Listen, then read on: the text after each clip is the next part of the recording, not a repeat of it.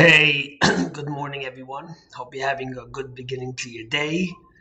This week, the Jewish world lost a giant, one of the greatest Jewish thinkers and writers, Dr. Rabbi Dr. Abraham Twerski, a psychiatrist, a great scholar, a Hasidic rabbi who wrote 70 books and authored many, many books. Unfortunately, passed away from COVID at the age of 90.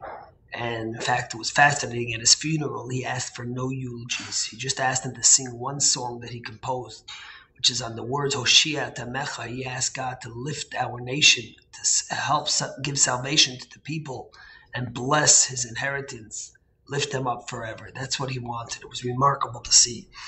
In any case, being a psychiatrist, being an author and a writer, he wrote 70 books. And someone once asked him, Rabbi Twerski, how did you write so many books? And he said, I really wrote one book. I just wrote it in 70 different ways. And one of his things as being an author and being a psychiatrist was what he found that people a lot of times lacked happiness in their life and were sad because they couldn't find that happiness. And what he realized was that really their lack of happiness and fulfillment came from a spiritual malady where they were lacking purpose and self actualization and meaning and focus in their life. And therefore, because of that, it reflected their outer happiness and their day to day happiness. And he used to always say that life is many times like a lobster. What does that mean? Lobsters are very, very soft. And because they're very, very soft, they God blessed them in order to protect them. They were created with a very hard shell to protect them from all the other animals, all the other fish in the ocean. Now, the problem is as they grow, the shell restricts them and constrains them, and they can't continue to grow and be the bigger lobster they want to be. So, what do they need to do? They need to shed their shell and grow a bigger shell so they could actually grow. But the problem is that when they shed their shell, they're without a shell and they're very vulnerable because they're so soft to the other fish in the ocean. But the only way to grow is to shed that shell and be vulnerable to grow and become a bigger lobster. And he said the same is true with human beings. Very often, we feel constrained, we feel restricted, we feel that we lack purpose, we lack a self of who we want to be. But in order to grow we need to shed our restraints and constraints that we've had that we thought protected us, but were actually, actually restricting us from growing. But the problem is that when we do that, we become vulnerable. But the only way to grow sometimes is to become vulnerable. And I was thinking about it because in this week's Torah portion, God says, Anochi Hashem I am God, the God who took you out of Egypt. And the rabbis ask, why did the Torah tells us that I am God, the God who took you out of Egypt, not who created the world. So a simple reason is God told us, I am God, the God who took us out of Egypt, because that's something that was relevant to them in a much closer way. But also the rabbis tell us something fascinating, and we say it twice a day in the Shema, or three times a day. That every day a Jew has to feel, the Talmud tells us, like as if he left Egypt. What does it mean every day? How can he feel every day as if he left Egypt.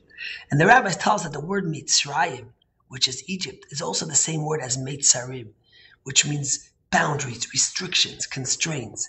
And that each one of us has restrictions. We have constraints, just like that lobster, that shell that don't let us grow. And every day we have to shed those restraints. We have to leave Egypt each day, not just in a literal sense, but a spiritual metaphor. God gave us that power when He took the Jews out of Egypt and He gave them the Torah. And through the light of the Torah, we have the power to leave our restraints, to leave our restrictions, and to grow. And by the way, every time you leave your constraints, sometimes you get new limitations. And the next day, you have to leave those. And the next day, you have to leave those. Constantly growing. And that's why the Torah says, I am God, the God who took you out of Egypt. I take you out of Egypt every single day. I give you the power to shed those things that you thought protect you. Like that lobster that thought that the protection is the shell, yet really it restricts you. And you need a shell, shed it. And when you shed it, you become vulnerable. But only through that vulnerability and through that realness are you able to grow and to leave that restraints and to become larger and to go to something of a higher level. I saw a beautiful story that Dr. Twerski used to say it is, you know, he used to have these um these um groups where he went to help people that were dealing with addiction, etc. And he spoke to them and tried to guide them as a therapist and a rabbi and, and guide them through the light of Torah. And there was a beautiful story that he said of, of when he was a young kid that, in a way, he was a little bit embarrassed of, but taught him a tremendous lesson.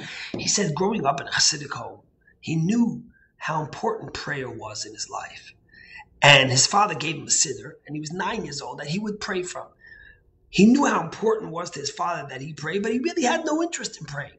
So many times his father would go to shul and he would open up his siddur, his prayer book, and he would just leave it open as if he prayed, but he really, really didn't pray in it.